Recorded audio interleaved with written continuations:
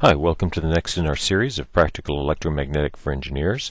It turns out that the electric field uh, depends somewhat on the material you're working with. Uh, the electric field in vacuum and the electric material in a plastic material, for example, may be different, and there are some subtle distinctions between the two that we're going to explore in today's lecture. But the only materials we're going to be talking about are insulators, a type of material we call dielectrics. So we've spent a fair amount of time considering a charge, let's call this a charge q down here in free space, and we know that it creates an electric field which is given by a vector field we call E. Essentially at every point in space we measure it, which is determined by by a vector r sub m. So of course r comes in our BIM comes out here to some point we want to measure. Um, we know when we, we get the expression from Coulomb's law that the electric field depends on this term epsilon we said was a proportionality constant. Essentially it relates the actual electric field in, in some kind of MKS unit system to, to do things and balance things out. The question is, um, why don't we just put in a number? Uh, what if R sub m is inside some block of material? It turns out that the properties of this material are generally represented by epsilon, and that's why we have a variable epsilon here rather than just some number. Um, because if we use a different material, we have to change the value of this proportionality constant. So, so why does this happen, and what implications does it have for working with electromagnetic stuff? In order to better understand this, uh, we need to zoom in. We need to sort of get a microscope and zoom in very closely to look down on the scale of individuals, atom, the individual atoms or molecules that make up this material. So let's go ahead and do that. So if we zoom in far enough to this material and take a, a, somewhat simplistic view, and then the reality is of course much more complicated, we know this material is made up of individual atoms or molecules. And at the center of each of these atoms and molecules, there's a nucleus. And this nucleus is essentially going to have a net positive charge. And it's surrounded by a cloud of electrons. And these electrons have a net negative charge to them. For most solid materials, um, the nuclei essentially are in some fixed lattice structure, like a crystal structure, and they're not able to move. But in a liquid or gas, the nuclei can move. The electrons, of course, are much more mobile um, because they're in a cloud and they're moving around this fixed nucleus. So what happens if we put an electric field on this in this material that, that we, we suddenly make our charge appear and we put an electric field that looks like this? Um, well, it's pretty obvious what's going to happen. We know that those electrons, which are negatively charged, are going to feel a force toward the positive charge, creating the electric field. They're going to go against the direction of the arrow. So you're going to get some kind of motion that looks like that. The electrons are all going to shift that way. If the solid material is fixed, the positive charge can't move, but you might also get a push on the nucleus in a freely moving system in some direction away. So, so what happens in this case? Um, all of a sudden, we've got a situation where we've got negative charge over here and positive charge over here. We know that that's going to create an electric field that's going to look something like that. It's going to push against the electric field that, that's come in. So in a lot of materials, you get a shifting of the charges within the atoms or the molecules that make up material that create an electric field that counter the electric field you applied. And we know by superposition, when we have two opposing electric fields, that the overall electric field is the sum of those. So we would expect, actually, the electric field inside the material, let's call it E sub m out here, and let's define the electric field E sub s in space out here, we would expect that E sub m is less than the electric field in space because this material is pushing back against the electric field that separated the electron clouds from the nucleus. And you can see if you look in Coulomb's law that if, in fact, because epsilon is in the denominator for materials that have a large epsilon, you actually do get a reduction of the electric field, the way we, we would think. And, and people don't like to deal with this. We'd like some kind of term that's sort of independent of the material, um, because we don't really think, unless we're going through a conductor, our, our force rays should essentially change that much. So what we do to get around this is we define a new term. We either call a displacement vector or electric flux vector d, and d is simply equal to epsilon, the permittivity, multiplied by the electric field. And we can see that when we set d equal to epsilon e, um, we just multiply the whole expression of Coulomb's law by epsilon, which creates an epsilon in the numerator, which cancels out with that term down there. And now d is completely independent of epsilon. The material you go through doesn't matter. And so, again, the way we think about this is that d is independent of material, but the electric field, the actual force vectors that push on other charges, are going to be reduced by an amount that's proportional to epsilon, the permittivity of the, the dielectric material we're going into. I want to explore one concept before we go on, and that's the concept of flux. What does it mean when we define something as an electric flux vector, and what is a flux? Because this is something we're going to be using a fair amount. Um, flux is the amount of something that goes through a surface. And in order to define this mathematically, we need to understand how to represent a surface mathematically. Well, well, one way to do it is the area of a surface, essentially how big it is. And I'm going to call that here delta A. Um, delta representing it's a tiny fraction of an area, sort of something we might use in calculus, um, but nevertheless we'll use A for area. Um, but this surface actually has a direction. Here we've got it oriented one way. Um, it would certainly be possible to write our surface essentially um, oriented in this way. So how do we mathematically represent the orientation of a surface? It turns out the only way to do it is by the vector that points perpendicular or normal to the surface. And we call that vector n. So here in this case, the vector in is pointing normal to the surface. In the other surface I drew, in would point in that direction. So surfaces are defined by both areas, um, which I'm calling delta A, and a direction that's determined by the normal to the surface. And this is the, really the only way you can uniquely define a surface in space as a vector surface, is the vector that's normal to it. So what's flux? It turns out that flux is essentially the amount of stuff that goes through a surface. So if I've defined my, my vector field, my displacement or electric flux vector here, you'll see all the flux lines are going through that surface, delta A. Um, and we can see that there are the points that the lines intersect the circuit, surface. And if um, we think about this, the overall flux is simply going to be the density of flux lines multiplied by the area of the surface. But in the case that I were to tilt my surface, in other words, the surface normal is making some angle theta relative to the flux lines, um, when I do that tilting, you'll notice something. You'll notice that four of these rays still intersect the surface, but this ray up here and this ray down here are now missing the surface because of the way I tilted it.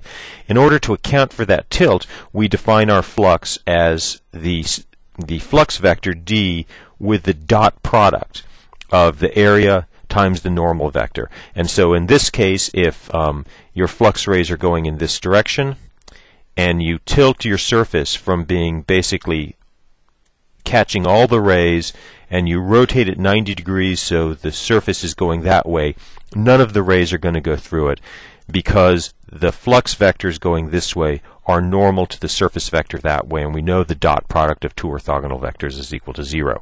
So in short, we define our flux by a flux field, in this case d, we could also use E, with the dot product of a surface of area I'm calling delta A, and also defined in direction by the normal to the surface n, in which case the flux vector dotted with the normal times the area gives you the total flux through a surface. Okay, despite that little aside into mathematics and uh, defining flux, this is kind of an unsatisfying explanation of displacement or an electric flux vector because because essentially what we're doing is we're defining a whole new term and it's not yet clear why we need that term. And and this is actually a very difficult question to answer. Um, and it doesn't really satisfy intuitively what flux is or what epsilon is or anything like that. So, so let's zoom into our surface again and let's, let's look at the case where we have a lot of electric field vectors going through some kind of slab of material. Well, what we've learned is that there are atoms inside that material and these electric field vectors E are going to push on the nuclei, and if the nuclei can move, they're going to go that way, and they're going to pull on the electron clouds. That's the green part, and they're going to go that way. And it's going to produce electric fields that counter or oppose the electric field of the material.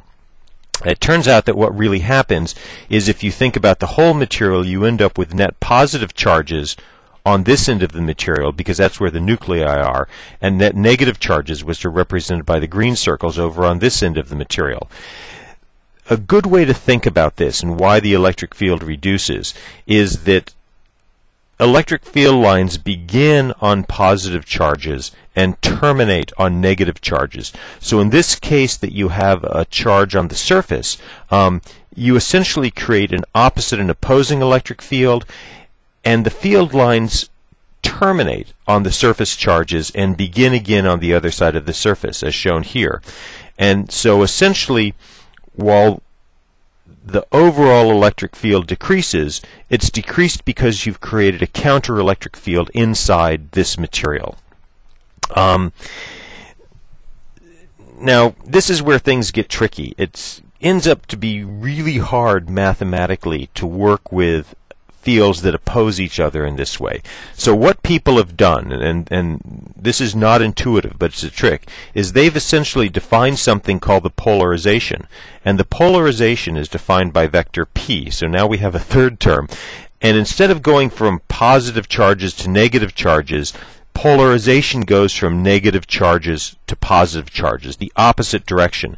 So inside a molecule, the vector p points this way, as that arrow shows. Overall, throughout the material, when you sum up all the molecules and all these individual little uh, separations, you get an overall polarization of the material shown by the blue arrows that points from the negative charges to the positive charges.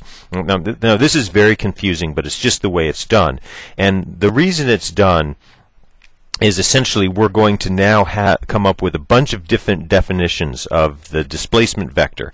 Um, we basically know that d is equal to epsilon e. Another way of writing this is essentially the permittivity of free space epsilon r or epsilon naught, which is 8.85 times 10 to the minus 12 farads per meter, that's the MKS units of it, plus the polarization P of the material, where we recognize that the polarization is in the same direction as E, but it's defined from negative charges to positive charges.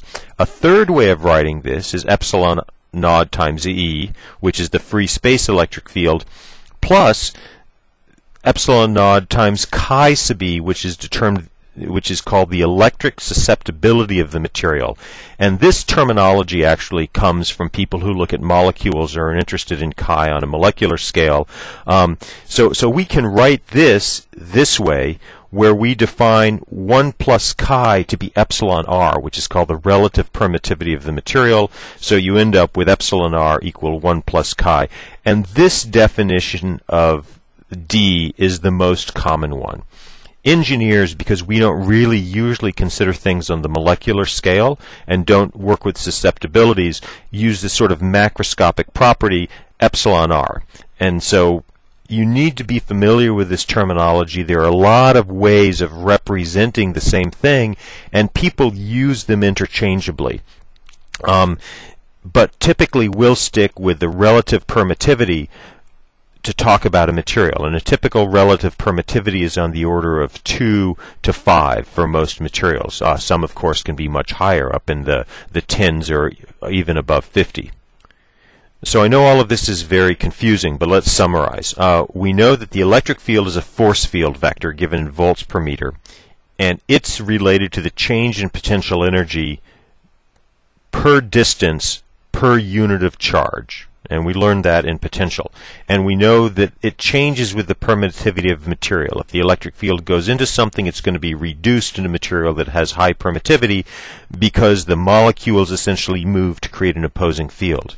Um, since energy is equal to force times distance, the electric field, which is a force field, has essentially units of energy per distance, and we have to include the charge in there because it only pushes another charges.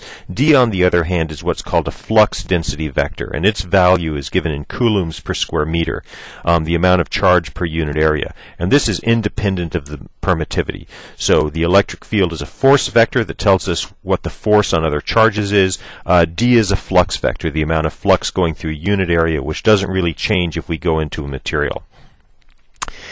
I want to talk a little bit as we wrap up about why we have all these different representations of chi and the polarization P and relative permittivity to define D. Um, it's because a lot of people look at things on the mic- microscopic level. If you want to know sort of what the permittivity of a material is, you've got to go down and do calculations on the scales of atoms and molecules. And it turns out that a lot of atoms and molecules essentially have um, distribution of charges. We call them dipoles. So in this case, we have more positive charges on this end because you'll notice it's probably hard to see, but blue is positive, and in this representation, red is negative because that's the way the people who designed this this website, where you can go and play with this if you want to, uh, did the colors. It's sort of counterintuitive. So these charges have a negative end and a positive end, and this happens to be a water molecule. Um, you can look at more complicated molecules that also have similar things. It turns out that when you put an an electric field on a molecule like this, for example, if you were to put an electric field across a glass of water, um, what's going to happen is that the molecule is essentially going to rotate in that electric field so the negative charges are pulled that way and the positive charges are pushed that way. And so electric fields can actually cause the rotation of materials. Um, what happens if we put a bunch of these polar molecules, one that have a positive end and a negative um, end, in a crystal structure, like we freeze the water into ice or there's some kind of other thing that's polar. And what happens if that crystal structure doesn't align with our electric field, for example? So our electric field is going this way. Um, it turns out that in a lot of materials, uh, the motion of the charges doesn't necessarily go with the field. It's also constrained by the properties of the atom. So you may actually get a separation of negative charges this way, positive charges that way, which means the overall polarization vector P in the material is not lined up with the electric field that's causing those to shift. Um, this is not something we're going to get into. You need to be aware of it because the reason we have all these different ways to represent the um, displacement vector, electric flux vector, is because in cases like this, chi and epsilon r aren't numbers. They turn out to be matrices. Um, and it turns out that there's a relation like this that says D doesn't point in the same direction as E. And this can result in all kinds of really interesting cutting edge stuff um, that will you will cover if you study this much later um, along in your life. But it's important to realize that some of this complexity arises because real materials are complex. They don't behave very nicely. But the things we're going to consider in the rest of these series does not treat epsilon as a tensor. It doesn't consider this. It only treats the relative permittivity of a number, and materials like this essentially are defined as being isotropic, that they're same in all directions. So let's summarize really quickly. What we've learned is that dielectric materials or insulating materials respond to electric fields by creating an opposing electric field inside them that comes from the distortion of the electron clouds within the within the molecules or atoms that make up the material. In order to deal with this, we define a new vector field phi that's related to E, and we call it the electric displacement or electric flux density. Um, we know the differences between E and D are that E is a force field that pushes on other charges. Um, and that, that force fields have units of energy per distance. It turns out that we're talking about potential energy with a charge with distance, so we define our electric field in terms of volts per meter. Uh, D is a flux density, and flux is the amount of something per unit area, so it has units of per unit area, as you can see right here, and it's simply the amount of flux rays from a charge per unit area, and it's independent of material. We also learned that there are many, many ways to express the properties of the material, because you know materials really are pretty complicated things. Um, but the most commonly used in engineering is the relative permittivity, and for the sake of this series of lectures, we're going to treat the relative permittivity epsilon r as a number, um, but it's not really a number in our materials. It can act in all materials. It can actually be a matrix and have lots and lots of complicated things, but we're not going to deal with that.